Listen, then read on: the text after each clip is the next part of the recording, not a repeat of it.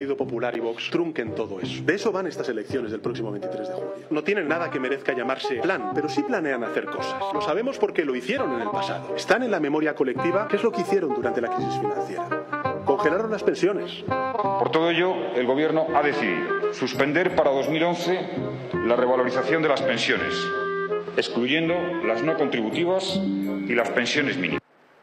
Bienvenidos amigos, un día más al Mundo al Rojo, el programa que cuentan lo que otros callan.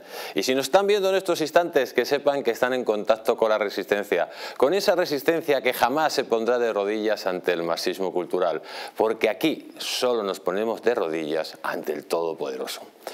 Y han escuchado a Pedro Sánchez, habla de que cuando llegue la derecha se acabarán las pensiones, que no habrá salud pública, que no habrá, los obreros tendrán que, bueno, más o menos que los garbanzos saltarán en la sartén. Pero la verdad es que cuando llega a la izquierda dejan el país totalmente arruinado. Tenemos la seguridad social arruinada. Tenemos el sistema de pensiones que no es sostenible ni por un lado ni por otro. Tenemos la mayor tasa de paro de la Unión Europea, la mayor tasa de paro eh, juvenil de la Unión Europea. Sin embargo, Sánchez se sacará de la manga toda esa patulea de mensajes absurdos para engañar a un público generalmente débil de mente que se deja engañar por un personaje siniestro como este. Mientras tanto, ¿qué pasa? Pues su plan sigue funcionando. ¿Cuál era el plan de Sánchez? Sánchez, atención amigos, que tiene un plan muy claro. ¿Por qué ha hecho las elecciones el 23J? Por una sencilla razón. Quiere colapsar correos. Atención a la noticia que sale en estos instantes, dice en el polvorín de correos ante el 3J, contrataciones de urgencia, amenaza de huelga y temor al calor. Lo cierto, ¿qué es lo que está pasando? Correo no está preparado, amigos, en este momento no está preparado, y menos en verano, para esta avalancha de voto por correo. Nos están diciendo ya directamente que hay 100.000 votos por correo diarios. Atención, 100.000 votos, 100.000 votos diarios por correos. Si hacemos una media, se podría llegar incluso hasta los 4 millones y medio de votos por correo. La verdad que seguramente que no se llegue a tanto, porque pueden ser que sean los primeros días, que sean los 100.000 votos eh, primeros y luego se vaya debilitando. Pero en cualquiera de los casos, ustedes tendrían que saber que por lo menos en las elecciones del 28 de mayo, eh, del millón de votos por correo, hubo 98.000 votos que se quedaron en el limbo. ¿Qué quiere decir? Que no llegaron a las elecciones. Y de esos 98.000 votos, 67.000 votos fueron de zonas ricas de Madrid. Atención, que Sánchez sabe a lo que juega. ¿Qué quiere decir? El voto por correo dice, no, toda la gente, la de izquierda, la derecha, se va de vacaciones. Por supuesto, está claro. Pero generalmente el que se va de vacaciones es el que tiene un poder adquisitivo un poquito más alto. Pues una clase media, una clase media alta. ¿Qué quiere decir esto? Que si ese voto por correo de esos 11 millones de personas que no van a estar aquí para votar, se puede perder por el camino o quedar en el limbo porque Correos no puede gestionarlos entre medio millón y un millón de votos por correo, seguramente que perjudique a la derecha. Y esto en unas elecciones donde sí es verdad que parece que se va a ganar en todos los lados, pero se va a ganar si votan todos. Si no se vota, amigos, pues seguramente, o el voto no llega, seguramente que las cosas estén muy ajustadas.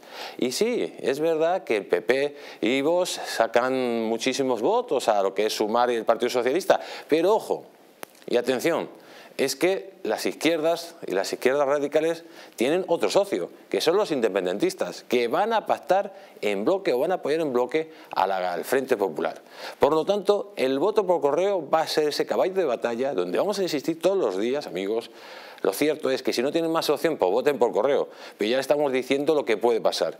Si puede votar directamente, vote, porque es la única forma que nos puede garantizar que Sánchez salga de Moncloa.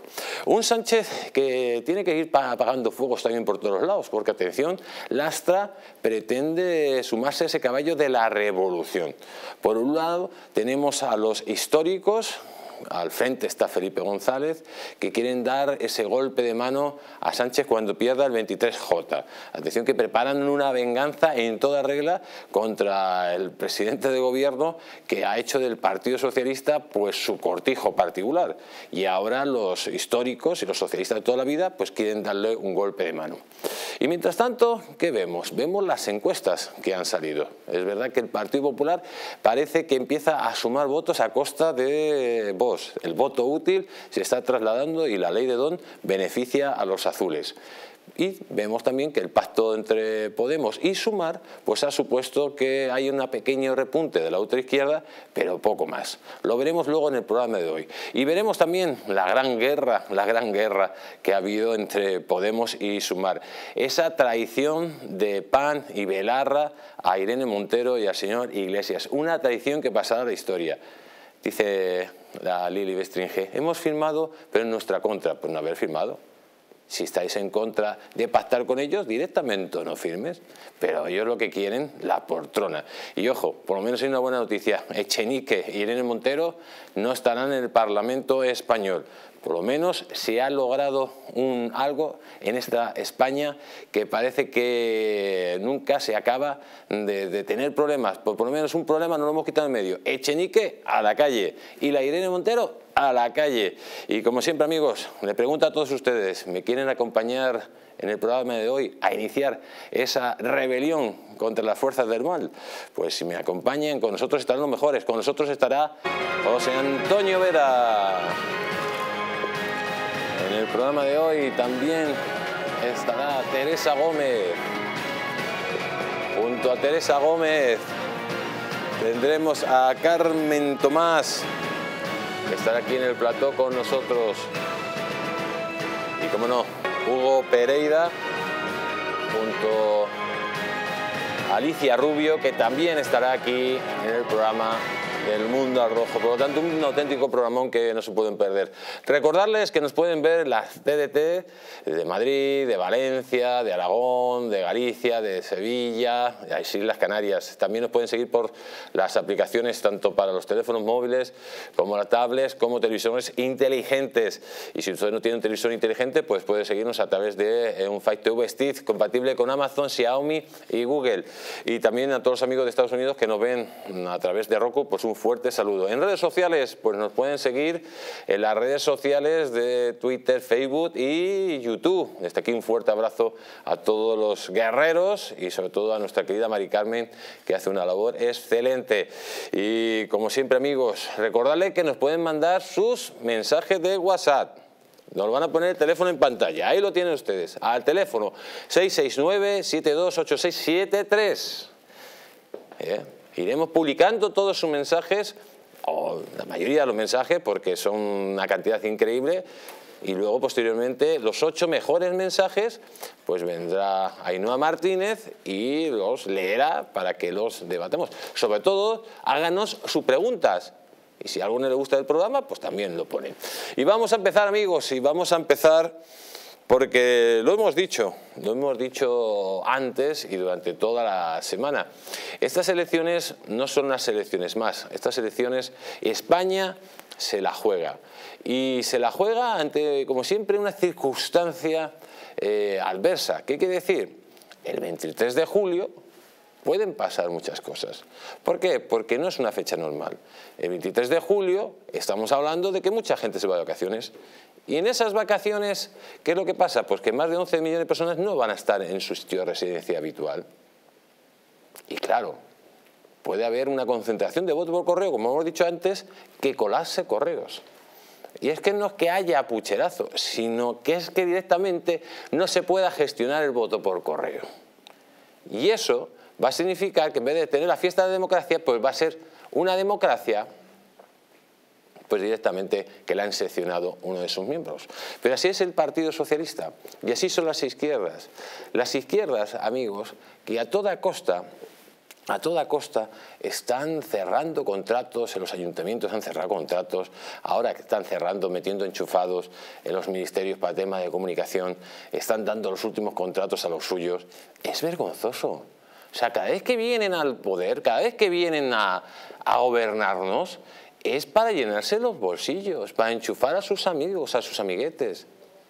Es que Sánchez, amigos, nos ha metido casi 500.000 funcionarios más. Es que ha dejado tiritando las arcas públicas en un periodo como el actual, donde se ha recaudado más dinero que nunca, por la subida de los impuestos, por la subida de la inflación, ha llegado dinero de Europa a las puertas, y eso no ha servido para reducir la deuda pública. Eso no ha servido.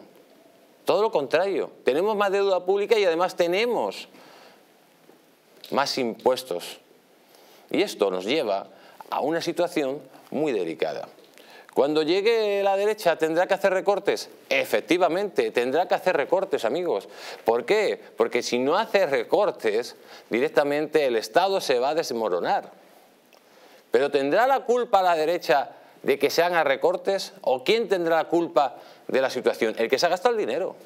Esto es como el médico que ve a un enfermo que se está desangrando y lógicamente tiene que tener medidas severas. Tiene la culpa, mientras está curando al enfermo, el, el médico de curar al enfermo y que lo esté pasando mal o tendrá la culpa el que le ha dado el golpe y le está haciendo desangrar al enfermo. Pues esto es igual con la izquierda y la derecha. Pero sin embargo, la derecha ya, la izquierda ya está preparando las calles, ya está preparando su guerra callejera. En Cataluña preparan ya otro golpe de Estado junto a lo que pueda pasar en Vascongadas. Atención Vascongadas, que se pueden poner en manos de los bildotarras, que están pasando de largo y han sido los bildotarras los que más han crecido, tanto en Navarra como en las Vascongadas. Y tener un gobierno de Bildu en las Vascongadas puede ser pues, una auténtica declaración de guerra. Si a todo eso le sumamos la inestabilidad política exterior que tiene España con Marruecos, con Argelia y encima que hay una guerra en medio de Europa, pues tenemos la tormenta perfecta. ¿Qué nos queda? Pues nos queda que la derecha sea derecha. ¿Y qué quiere decir esto? Que los tres primeros meses tomen todas las medidas que tengan que tomar que no tengan miedo, que la gente les ha votado precisamente para tomar esas medidas. La gente no les ha votado para que se mantenga ninguna de esas leyes ideológicas del Partido Socialista. La gente no les ha votado para que se sigan metiendo enchufados y siga creciendo la deuda pública y lleve a España a un auténtico desastre económico, no.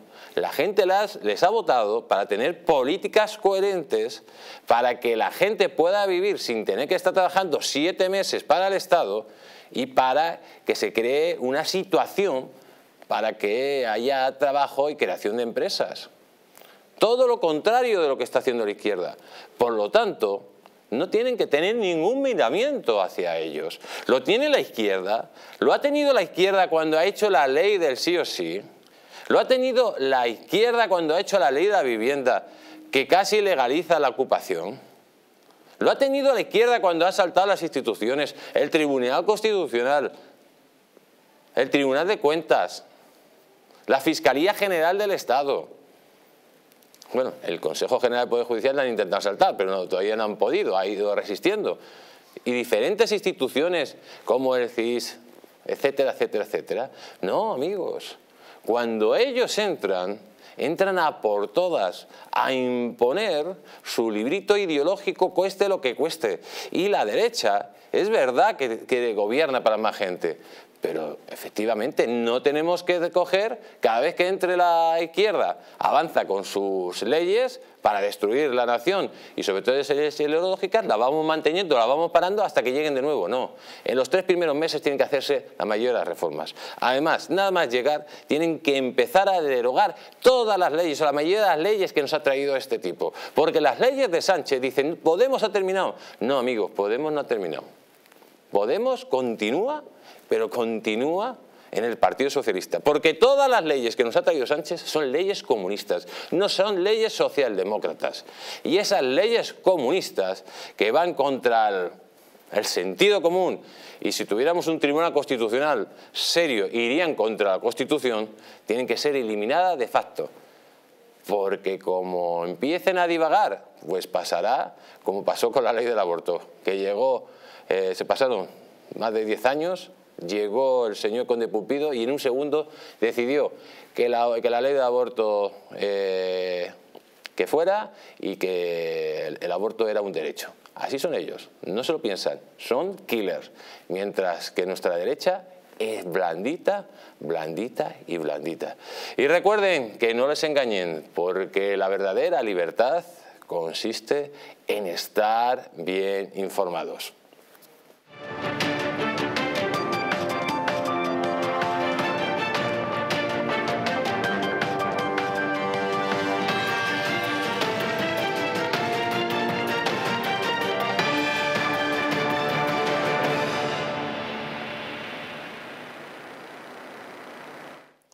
Y vamos a continuar, y vamos a continuar, amigos, vamos a continuar eh, hablando de lo que, del escándalo, del enésimo escándalo que está pasando en la justicia española. Y concretamente tenemos eh, que hablar de esta noticia que dice fiscales denuncian al gobierno la irregularidad en el nombramiento de Dolores Delgado. Atención a esta noticia que, lo que nos dice que la Asociación Mayoritaria de Fiscales pide a la ministra de Justicia que frene la elección porque fue nula de pleno derecho. Eh, la carrera fiscal advierte al gobierno español que la elección de Dolores Delgado como fiscal de la Sala de Memoria Democrática está plagada de irregularidades. El Consejo de Ministros tiene que refrendar este martes la propuesta que realizó el 8 de junio el fiscal general del Estado, Álvaro García Ortiz, en contra del criterio del Consejo Fiscal. Las dos asociaciones críticas con lo sucedido han enviado este lunes sentas cartas a la ministra de Justicia Pilar Job y al ministro de Presidencia Félix Bolaño para comunicarles las anomalías y que la elección fue nula de pleno derecho para evitar así el nombramiento. García Ortiz propuso el pasado jueves a Delgado para la recién creada Plaza de Memoria Democrática. Los seis vocales de la Asociación de Fiscales y el único representante de la Asociación Profesional e Independiente de Fiscalía se negaron a deliberar y votar el nombramiento en señal de protesta. Al puesto aspiraban cuatro candidatos, la exministra de Justicia, Juan Caparroso, Luis Ibáñez y Carlos Castresana. La, mayoría, la mayoritaria asociación de fiscales ha remitido una carta a Job para instarle a que no traslade al Consejo de Ministros la propuesta de nombramiento de Delgado porque su elección, como hemos dicho antes, nula de pleno derecho. Tenemos al otro lado de Sky a Teresa Gómez. Buenas noches, Teresa, ¿cómo estás? ¿Qué tal? Buenas noches. Teresa, em, hablábamos de que cuando la izquierda llega al poder, eh, toma las instituciones como parte del partido y no pide, eh, no, no, pide explicaciones, de, nadie le pide explicaciones de nada, en este caso sí, pero en este caso lo que está haciendo directamente es pasarse por el arco de triunfo la, legalidad vigente, ya que eh, según la normativa la señora Delgado tiene pues, graves, graves problemas de incompatibilidad precisamente con este puesto y la relación que tiene con el señor Garzón, ¿no? Sí, lo que denuncian los fiscales, y, no hay ningún fiscal, ya sea de una asociación más próxima a la izquierda o más próxima a la derecha, no hay ningún fiscal que diga lo contrario, y es que no se cumplió eh, el reglamento, no se cumplió la ley para la celebración, para la designación de la proposición por parte del fiscal general de eh, Dolores Delgado. Es cierto eh, que la, el acuerdo al que llega el Consejo Fiscal eh, es preceptivo pero no es vinculante pero para eso debe llegar a un acuerdo y el, fiscal general debe oír previamente al Consejo Fiscal para que este sea, sea válido. En el, en el, Consejo Fiscal celebrado el pasado jueves, que se adelantó justo cuando el presidente del Gobierno decidió convocar elecciones, el fiscal general del Estado tenía previsto para eh, un poco más tarde celebrar este Consejo Fiscal y a la vista de que se había adelantado las elecciones, decidió también adelantar a este Consejo Fiscal para que pues para poder eh, situar a su ex jefa y a la exministra socialista Dolores Delgado en un cargo, en el cargo que ella, ella, al cargo al que ella aspiraba antes de eh, que tuviésemos un nuevo gobierno. Y lo ha hecho ya con las cortes disueltas. ¿no? Esto es eh, lo que le achacan los fiscales del Consejo Fiscal que no era estético ni era ética esta elección y que por lo tanto Por una parte, se pedía un informe sobre la compatibilidad eh, de, Dolores Delgado y por otro, eh, pues la no eh, participación o la no celebración del pleno del pasado jueves. Estos ocho fiscales no es que se negaran, no es que votaron en contra, es que estuvieron presentes en la votación pero se negaron a participar. Decidieron no formar parte de, este, de, esta artimaña eh, que ha sido diseñada por el propio fiscal general del Estado, por Álvaro García, para poder eh, elegir y premiar a la que fuese su jefa eh, Delgado. De esta manera, el, Consejo Fiscal se quedó sin el quórum necesario para que se pudiese celebrar, porque ellos estaban presentes, ¿no? Entonces no hubo el quórum necesario y por lo tanto el fiscal no pudo escuchar a las partes. Entonces, no se podría, lo que dicen los fiscales es que al no haber quórum y no haberse escuchado a las partes, que es necesario, aunque luego el fiscal nombre a quien le dé la gana, pero es necesario previamente escuchar al Consejo Fiscal. Algo que se saltó Álvaro García, además de, eh, negar esa petición de los fiscales de que se analizase la eh, compatibilidad, teniendo en cuenta que la pareja de Dolores Delgado, el juez condenado por prevaricación, Baltasar Garzón, eh, pues tiene una fundación que se dedica justamente a esto, a, los derechos eh, humanos, eh, que es justamente lo que va a coordinar la, fiscal general, la ex fiscal general del Estado, perdona, desde esta Fiscalía de Memoria Democrática. De todas maneras, no es la primera vez que eh, que Álvaro García hace este tipo de, nombramientos aparentemente ilegales, porque ya no es que de los cuatro que se presentasen, ella pues precisamente no era la que mejor currículum tenía para ostentar eh, al cargo, sino que además se suman todas estas irregularidades. Pero es que lo mismo ocurrió cuando le dieron la plaza de eh, fiscal de sala de lo, de togado. ella no era la, la que tenía el currículum más brillante para obtener para tener esa, esa plaza. ¿Qué ocurre? Que Dolores Delgado, su aspiración última era la de la Fiscalía de Memoria Democrática porque, según dicen fuentes fiscales, pues al final eh, puede o, esto podría conllevar a que eh, pudiese montar ¿no? un, eh, beneficio, tener un beneficio junto con su pareja Baltasar Garzón. El caso es que ella quería sí o sí esa, esa fiscalía. Yo no voy a decir cuál, qué, qué es lo que va a hacer ella ni le voy a imputar ni ningunos delitos, pero es cierto que dentro de la Fiscalía se sospecha que, que las aspiraciones eh, por las que ella quiere esta Fiscalía es eh, para poder trabajar, y ojo, esto lo dicen fuentes fiscales, quizá para poder trabajar eh, de la mano de, su marido, algo que si esto se comprobase que es así, por supuesto, Dolores Delgado debería ser apartada de la carrera fiscal si esto lo llevase a cabo. Digo, ella eh, eh, quería esta, esta plaza. Para ostentar esa plaza debía ser eh, fiscal de sala, que es la máxima categoría dentro de la carrera fiscal. Bueno, pues Dolores Delgado no era fiscal de sala. ¿Qué hizo cuando salió de la Fiscalía General del Estado? recordemos que Pedro Sánchez quiso modificar eh, a través de una enmienda a la ley para poder nombrarla directamente fiscal de sala una vez que abandonase la Fiscalía General del Estado para agradecerle de esta manera los servicios prestados al frente del Ministerio Público. Esto generó tanto revuelo que al final se tuvo que retirar esa enmienda y lo que se hizo fue convocar una plaza de fiscal eh, de sala, que es la sala del otogado, y si a ti te eligen, aunque no sea fiscal de sala, para ocupar esa plaza, ya ostentas esa máxima categoría. Y esto fue lo que hizo. Se presentó eh, otro, otro fiscal, un fiscal del Tribunal de Cuentas, con un currículum muchísimo más brillante que el de Dolores Delgado y un currículum mucho más adaptado a ese cargo de fiscal de, sala de lo, de lo militar y aún así, una vez más, Álvaro García, pese a que el Consejo Fiscal había votado en su mayoría en contra del nombramiento de Dolores Delgado, decidió nombrarla fiscal de sala de Rotogado. ¿Qué ha ocurrido ahora? Pues que este fiscal del Tribunal de Cuentas ha recurrido ese nombramiento ante la sala de tercera del, alto tribunal y ahora la sala tercera ha admitido a trámite esa demanda. Si dentro de, un, de nueve meses el Tribunal Supremo dice que ese nombramiento de fiscal de sala de Dolores Delgado eh, fue un nombramiento ilegal o que no se ajusta a derecho, Dolores Delgado deja de ser fiscal de sala y por ende tampoco va a poder seguir eh, eh, estando al frente de la Fiscalía de Memoria Democrática. Pues eh, Teresa, yo creo que lo has dejado bastante claro. Estamos ante un presunto delito con todas las palabras y esperemos que el día 23 de, julio, pues hay un cambio de gobierno, haya un nuevo fiscal eh, general del Estado y esto se investigue a fondo porque ya el manoseo que está haciendo Sánchez y su gobierno de la justicia es un auténtico delito a la democracia.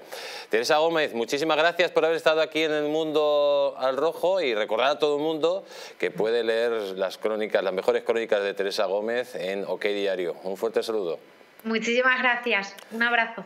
Y amigos, vamos a continuar. Y antes de seguir, permítame presentar a doña Carmen Tomás. ¿Cómo está, doña Carmen? Muy bien, muy buenas noches. Un placer tenerla aquí. Muchas gracias. Me gustaría decir algo sobre esto porque igual no hay que esperar tanto a que se resuelva esa, esa, demanda que ha presentado este fiscal, porque resulta que es, es, que el Consejo de Fiscales es el único órgano, el único, ni, el, ni siquiera el fiscal general del Estado, que por eso estuvieron pero no votaron y lo han vuelto a repetir, es el único que puede hablar sobre las incompatibilidades de los cargos que se presentan. Como no les han dejado, hoy insisten y han vuelto a insistir y es más, han asegurado que es, era, es la propia Dolores Delgado la que debería de haber renunciado a presentarse. Así que no van a parar aquí y claro, porque no, solo, no solo comete el delito el que de forma fraudulenta eh, mete a una persona, sino también el que a sabiendas de que es, eh, supuesto, ese cargo de fraudulento lo acepta, claro. Por eso no ha, no ha dejado que el Consejo Fiscal, que es el único que tiene que hablar sobre incompatibilidades, hablara. Es más, dijeron, oiga, es que esa competencia es nuestra. Y dijo, me da, da igual, la nombro yo y punto. O sea que todo ese proceso es irregular y también el hecho de que ella misma, sabiendo que es incompatible, eh, no, se haya, no haya renunciado y eso le puede llevar a ser la última vez en su carrera que pueda ser fiscal, o sea, acabar con su carrera como fiscal. Ojo, ¿eh? Pues que Dios le oiga a doña Carmen Tomás, porque esta señora, pues eh, lógicamente, aparte de ser una sectaria, también estaba en debate eh, su puesto como fiscal general del Estado. Vamos a continuar porque me dice lo, que dice la siguiente noticia, dice martillazos en los juicios del Partido Socialista Obrero Español antes del 23J, investigaciones frenadas y hackeos en Tito Berni, los Puig y, Caso Azul. Dice, las elecciones están a, están a la vuelta de la esquina y casualmente los distintos casos de corrupción del PSOE en fase de investigación judicial han encontrado dificultades. Hackeos en la fundación del gobierno vinculado a Tito Berni, daños informáticos en las sociedades de los hermanos de Shimo Puig, regados con subvenciones, falta de equipos especializados de la UDED en el caso mediador o requerimientos de información que no se contestan o se retrasan en el caso Azul. Sea como sea, todo lleva a la relantización del ritmo de la investigación justo en los coletazos finales de la legislatura de Pedro Sánchez. Los casos se repiten y dificultan eh, directamente la calificación y sobre todo la colaboración con la justicia. Y ocurre en infinidad de casos ligados presuntamente a la corrupción del Partido Socialista. Pues amigos, ahí tenemos el manoseo, el manoseo de la justicia. Porque claro, no puede haber socialismo, esto ya no es socialismo, esto es más parecido al comunismo, eh, sin un dominio prácticamente eh, total de la justicia, porque lo que estamos viendo aquí es mm, en los casos de corrupción del Partido Socialista, muchísima gente que se ha librado precisamente por fallos judiciales, que lo hemos visto, por fallos de procedimiento, y ahora vemos que en los casos principales que afectan al Partido Socialista, como el Tito Berni, caso Azul, o el tema de las subvenciones del hermano Chimoput, pues directamente se paraliza todo misteriosamente. Pero provocados por ellos, que esto es como en el caso, es el mismo caso que los ERE.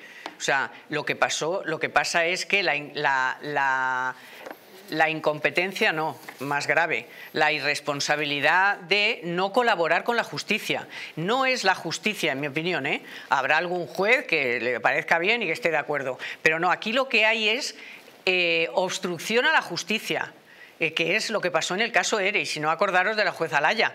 O sea, continuamente se quejaba de que no le daban los papeles, de que retrasaban los procedimientos. De hecho, bueno, 10 años tardó o más, casi 11 años, el caso, los el caso ERE en, dilucidarse. Y todavía hay casos mm, que tienen que ver coleando por ahí. O sea, cuidado. Lo que están haciendo es obstruir la justicia es romper cosas, que estos que decían tanto del PP que había roto no sé qué ordenador y tal, bueno, pues... Bueno, empezando por la presidente del Congreso. Esto es lo que mejor se le directamente eh, no, no dio las tablets ni los teléfonos. Por eso, o sea, si es que son, eh, es el Partido Socialista el que no colabora con la justicia. Luego la justicia a lo mejor hubiera dicho, bueno, pues eh, como estamos en proceso electoral, pues paramos y seguimos después, que eso lo ha dicho muchas veces el Supremo. El caso ahora mismo está subyúdice y no vamos ahora a, hacerse, a decir nada, ni a hacer sentencias, ni nada, secreto del sumario y a la vuelta a las elecciones ya veremos. No, es que este no es el caso. El caso es, en todos los que has mencionado, es o no les han dado información, o retrasan los procedimientos, o han roto cosas, o han desaparecido cosas. O sea, es el Partido Socialista el que no quiere colaborar con la justicia. Y hay que recordar que la moción de censura se ganó porque aquí no había transparencia y, la corrupción campaba a sus anchas ¿eh? y ellos venían a regenerar el país y a ser transparentes totalmente. Pero claro, que es que corrupción, bueno, pero tomar nota. Corrupción y Partido Socialista es, cuando ustedes van al diccionario de la lengua española y ponen la palabra corrupción, generalmente sale las iniciales de un partido que se constituyó hace 140 años y que lo hizo un tal Pablo Iglesias. Vamos a continuar porque mm, a Sánchez se le está poniendo todo el mundo en rebelión directamente. Vemos por un lado los varones eh, territoriales, como están hartos de él, vemos también como los históricos y ahora le sale, de la chistera, le sale una tal Adriana Lastra, ¿se acuerdan de ella? Miren lo que dice esto, dice la conjura de Adriana Lastra, Sánchez intenta sofocar los primeros movimientos sucesorios, dice las maniobras bajo cuerda para heredar el trono de Sánchez han empezado, aunque el presidente haya tratado de cortar de cuajo la más evidente, excluyendo de las candidaturas electorales algunas de sus cabecillas, pero no a la principal, su ex amiga Adriana Lastra, vicepresecretaria general del PSOE, hasta que Sánchez la defenestró en julio del 2022 con la coartada de que estaba embarazada. Con Lastra no ha podido, por tanto ella, tanto ella como Adrián Barbón, líder del PSOE en Asturias, lo tenían todo atado desde hacía tiempo. Barbón brindó a su amiga a principios del pasado mes de octubre cuando anunció por sorpresa que Lastra volvería a ser la número uno al Congreso por Asturias. Carta en la mesa presa. Por aquel entonces, la reacción del secretario de organización del Partido Socialista, Santos Cerdán, enemigo de la asturiana, fue furibunda. Afirmó que le parecía extemporáneo anunciar los candidatos a las generales cuando faltaban supuestamente 14 meses para las elecciones y cuando ni siquiera estaban designados los candidatos a las municipales y autonómicas.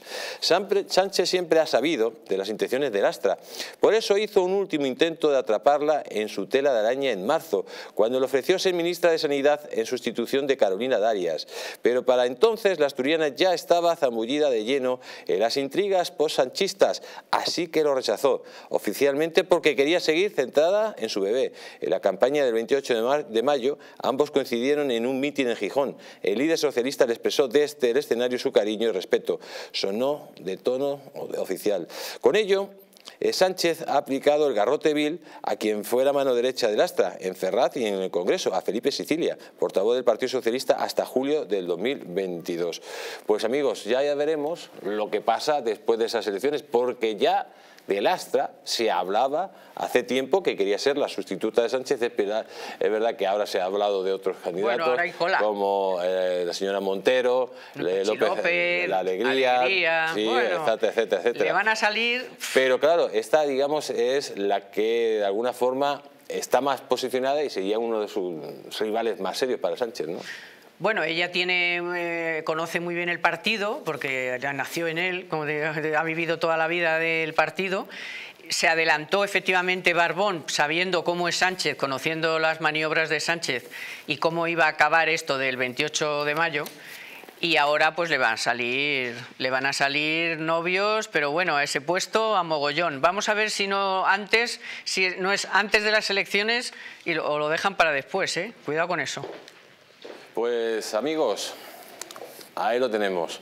Vamos a ver lo que ha pasado con las encuestas, con las encuestas que se han publicado hoy en España en diferentes eh, periódicos. Vamos a empezar con la encuesta en las que nos habla que el pacto Sumar Podemos otorga a la izquierda siete escaños más, pero sigue lejos, atención, sigue lejos de la mayoría absoluta.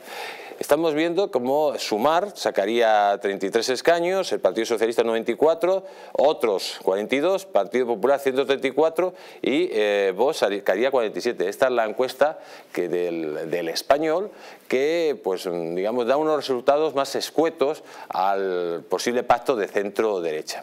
Vamos con la siguiente encuesta que nos van a poner en pantalla, a ver si nos la ponen, en la cual Ahí lo tenemos, Feijó superará los 150 escaños y deja a Sánchez sin opciones tras el 23J. Estamos hablando de que aquí Sumar sacaría entre 27 y 29 escaños, el Partido Socialista entre 101 y 104, el Partido Popular entre 150 y 153, atención a esto, y vos tendría una caída entre 33 y 35 escaños. Aquí vemos una gran subida del partido de eh, Núñez Feijó, a una concentración de votos y a costa del partido de Santiago Abascal. Pero habría digamos, un, de nuevo pacto o un posible gobierno de centro-derecha y se aumentaría esas posibilidades del señor Fijo de poder gobernar entre comillas, en solitario. Eso siempre si los pactos con el Partido Sentido Abascal pues lo permitieran. Vamos con la siguiente encuesta. Esta encuesta nos habla directamente que PP y Vox mantienen la mayoría absoluta pese a la concentración de voto de la izquierda en el PSOE. Estamos hablando que el Partido Popular sacaría 139 escaños, Vox 44, el PSOE 96, sumar 30 escaños y luego ya tendríamos el resto de, de partidos, que son partidos regionalistas, eh, partidos independientes independentistas, etcétera. Aquí de nuevo vemos que hay una mayoría amplia del Partido Popular con una reducción pues casi de 14 escaños respecto a la anterior encuesta que le daba casi 150 escaños del Partido Popular y con un voz pues más fuerte lógicamente en escaños y con un Partido Socialista pues que sigue cayendo por encima de los 100 escaños y con Sumar y Podemos que más o menos todas las encuestas le dan los mismos votos. Vamos con la siguiente eh, pantalla y aquí vemos amigos, eh, esto es de OK Diario, que dice que el Partido Popular ganaría en 43 provincias y el PSOE solo en tres provincias. Atención que es que el, mapa directamente se viste de azul y solo quedarían las provincias rebeldes de Asturias, Navarra y Barcelona para los partidos socialistas y bueno, aparte eh, pues quedarían para, para, la y para Junts en Cataluña y lo que es eh, las Vascongadas donde se lo repartirían directamente pues el partido eh, de PNV y de Bildu. Eh, señora Tomás, ¿cómo ve estas encuestas que todas más o menos hablan de una mayoría centro-derecha, menos la del español que habla pues una mayoría más ajustada, ¿no? bueno, pero aquí yo creo que lo importante es la tendencia, ¿no? La tendencia eh, ya da igual si son 150, 140, ya eso ya lo veremos. Eh, lógicamente es más de fiar mm, GAT3 más que nada porque acaba de acertar las autonómicas y municipales y punto, pero bueno, Aquí lo importante son las tendencias. La tendencia dice claramente que eh, el centro derecha gana las elecciones con una amplia mayoría y que puede gobernar, punto.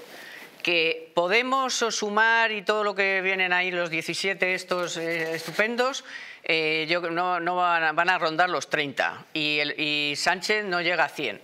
Bueno, y eso es lo que dicen las tendencias. Así que, como no está todo dicho, aquí lo que hay que repetir es, hay que ir a votar el día 23, da igual por correo, que por cierto, las, eh, la semana pasada hablábamos de que rondaba, iban a rondar los 2 millones de votos por correo.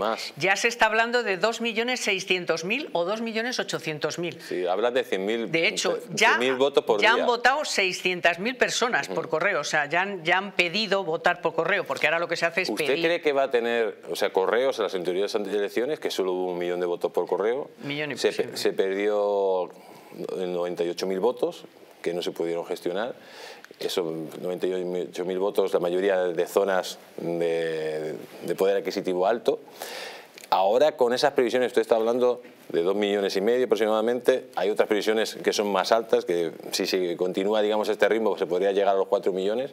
¿Usted cree que Correos va a tener capacidad para poder gestionar esa avalancha de voto por correo, que mucho voto se puede quedar en el limbo? Yo quiero confiar en que sí. O sea, yo quiero confiar en que bueno, pues van a contratar a 10.000 personas, que van a hacer su trabajo y que, y que, ya se, se puede perder algún voto, vale, de acuerdo, pero entre 4 millones te quiero decir que es que además, además es que luego, luego en las mesas, si es que el sistema español, es que luego en las mesas se sabe cuál es el voto por correo, quién ha votado por correo, y ahí están los interventores de los partidos que se preocupan y se molestan en contabilizar absolutamente No veo problema ahí, digo, el problema es la avalancha de voto y la... Sí, pero es que... Eh, imagínese que pues, se pone correos en huelga, que puede ser. Que han dicho que no, porque van a, contratar a 10.000 personas, pero es que hay que confiar en el sistema, y el sistema de verdad que está, eh, es, es infalible casi, porque eh, después en las mesas, cada mesa sabe cuánta gente ha votado por correo. ¿Usted sabe quién confió en el sistema? No, no, no, eh, no, no, en eh, serio, no, vamos, no, en serio, en serio.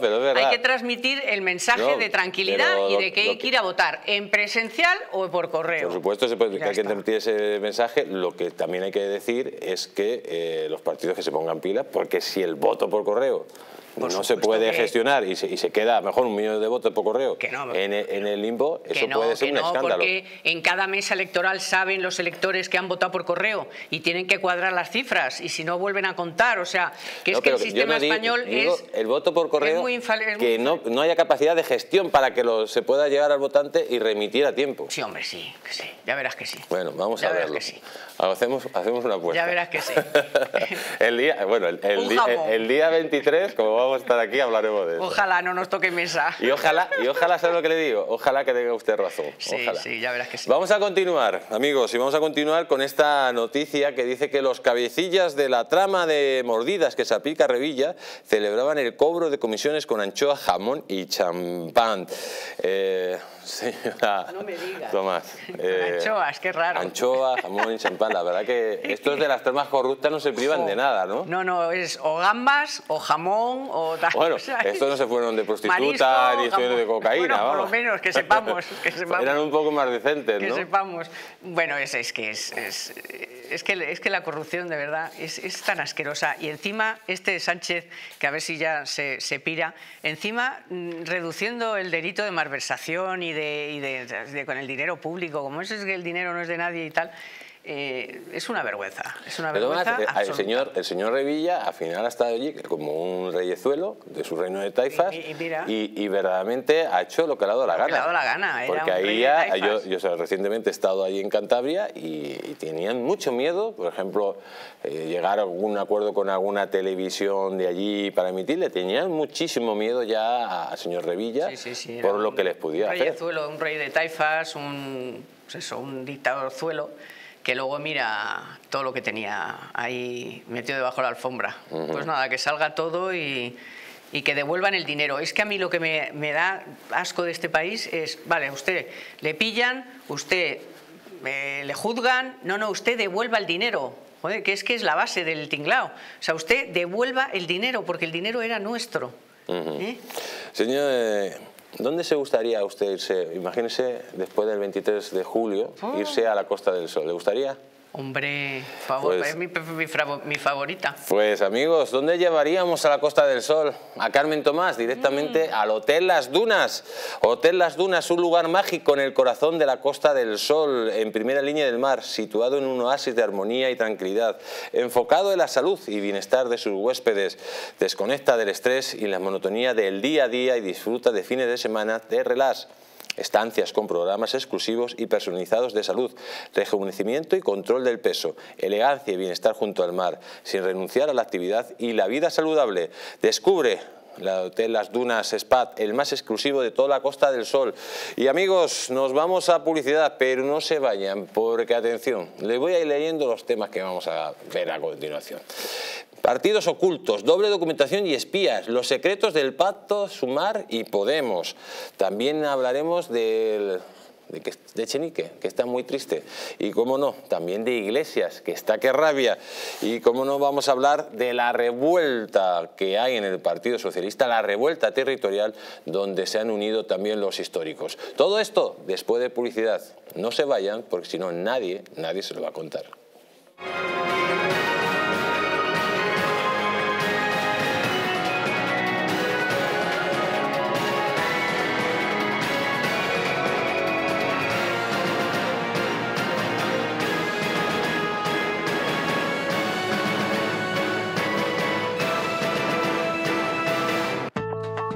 Presencia del colágeno en la composición de huesos, piel, ligamentos, cartílagos y tendones es imprescindible para frenar su deterioro. Sin embargo, a medida que envejecemos, su producción se reduce. Colacel Antiox de Mundo Natural combina en una misma toma colágeno hidrolizado puro, antioxidantes, ácido hialurónico y vitamina C que contribuye a la formación normal de colágeno. Haz del tiempo tu gran aliado, Colacel Antiox. ¿Una noche larga de fiesta con los amigos? Has terminado cansado y con una copa de más. Ahora en exclusiva en Naturhaus, Staff Detox. El remedio que acaba con esas resacas eternas del día siguiente. Acércate a tu tienda más cercana o visita naturhaus.es.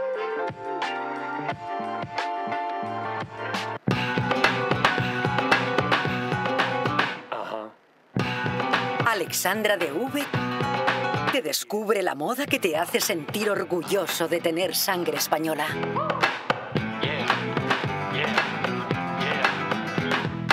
Estilo, moda y arte con orgullo de patria. Visita la web alexandradev.com.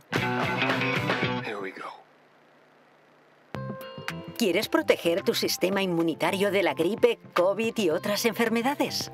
Inmunad Z es un complemento elaborado con zinc y base de vitaminas C1, B6 y D3 que permiten aumentar las defensas y mejorar las respuestas del sistema inmunitario. Además, posee antioxidantes que reducen el envejecimiento y mejoran el estado de ánimo. Con Inmunad Z, las defensas al poder. Acércate a tu tienda más cercana o visita la web naturhaus.es.